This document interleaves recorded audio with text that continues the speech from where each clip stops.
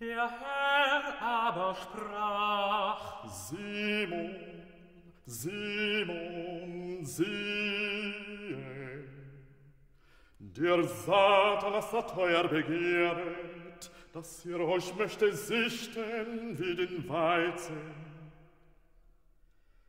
Ich habe aber für dich gebeten, dass dein Glauben nicht aufhöre, Und wenn du dir mal einst dich bekehrest, so stärke deine Brüder.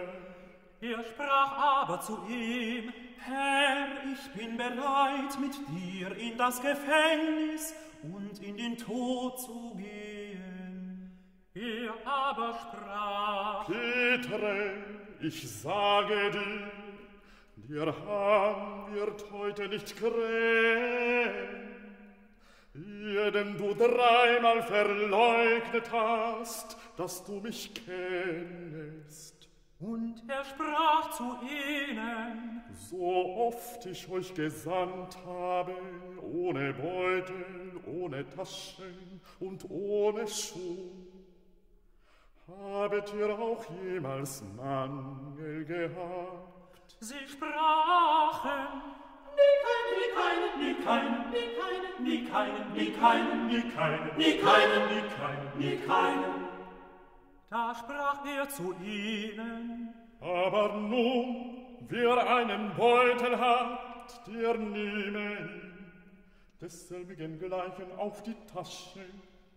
Wer aber nicht hat, verkaufe sein Kleid und kaufe ein Schwert, denn ich sage euch, Es muss auch das noch vollendet werden an mir, das geschrieben steht.